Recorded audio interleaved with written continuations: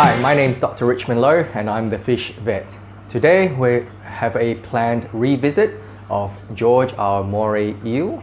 Uh, before, if you saw the previous video, we're suspecting that he either got spiked by his tankmate Fluffy, a lionfish, or he might have suffered uh, from gas bubble disease from a faulty or leaky pump whereby it was um, sucking in air and producing a lot of gas and causing supersaturation of the water and the gas sort of become, um, gets evolved or comes out in the bloodstream, creates emboli, blocks different um, blood flow to different organs and organ damage and probably neural deficits as well.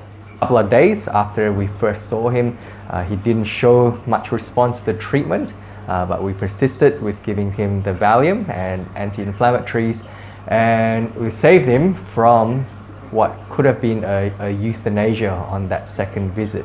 This video clip shows George 9 days ago before treatment. It took George several days to respond positively to our treatment protocol. The clinical signs and slow response to treatment indicates that George is most likely suffering from gas bubble disease as it takes several days for those bubbles to begin dissipating from his body. And you can see George's um, snout and everything is sort of healed up very nicely and evenly. Uh, there's no signs of redness or infection. Uh, it's a good thing that we gave him the antibiotics so it fended off any bacterial infection and that could have led to septicemia. Um, so together with the anti-inflammatories and diazepam, um, that all worked in combination uh, to get him to where he is at the moment. If you saw from our previous video, uh, the treatment course we gave, now here is George nine days after our initial visit, following injections of diazepam, anti-inflammatories, antibiotics, and B-complex vitamin. And we're doing a clinical assessment now to see how he's responding to the treatment.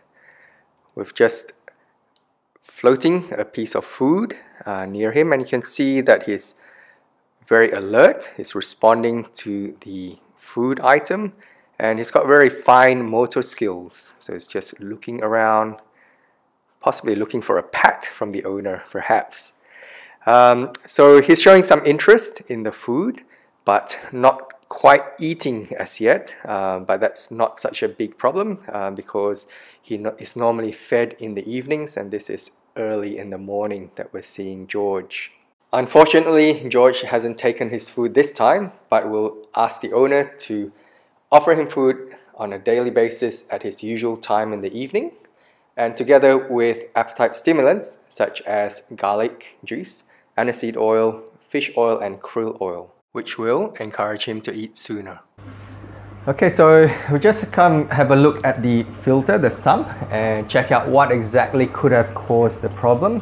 Um, so in here we had the uh, water pump and it was sucking in air and that was going through this long tube all the way up to the water and into the tank.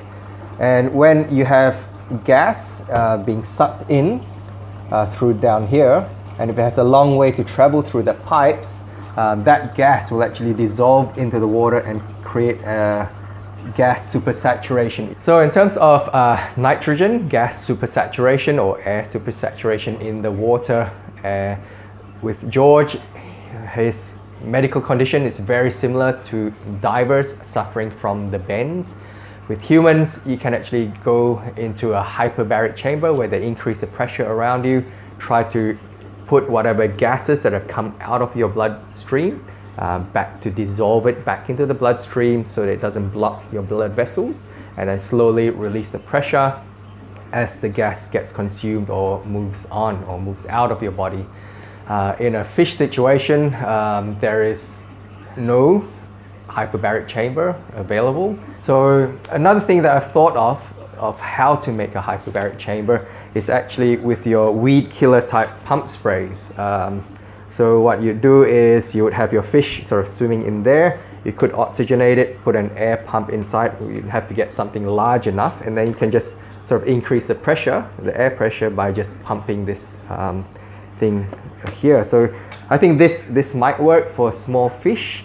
Uh, but it wouldn't work for something as big as George. So if you have any ideas on how to make a, a DIY hyperbaric chamber, I'll be most interested to, to hear from you.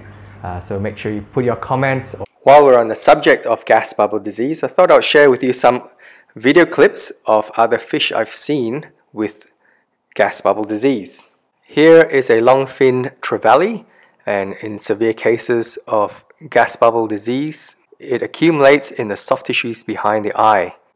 Here is a wet mount preparation of a gill biopsy from a fish affected with gas bubble disease. You can notice the little gas bubbles forming within the blood vessels. Now here is a histology view of gills from fish affected with gas bubble disease. You can see the blood cannot go past the gas bubbles and with this sort of sluggish or blockage of blood flow it can cause degeneration of the tissues due to poor blood supply. In my experience, gas bubble disease tends to be more prevalent in some species more than others. If you've experienced gas bubble disease in your fish, please note down in the comments below to share with us what species were affected and what tank system you had at that time. George, when he was first bought eight years ago, was only about 20 centimeters long, 8 inches. Uh, yeah, about that size. And now he's grown to 1.7 kilograms and he's basically the main pet of the house. Um, and Fluffy is, I guess, George's pet.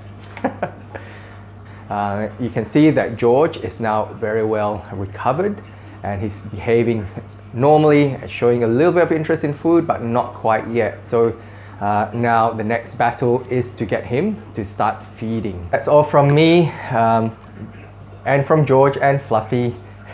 Uh, make sure you like, subscribe and share uh, to get updates of our future videos and have a fantastic week.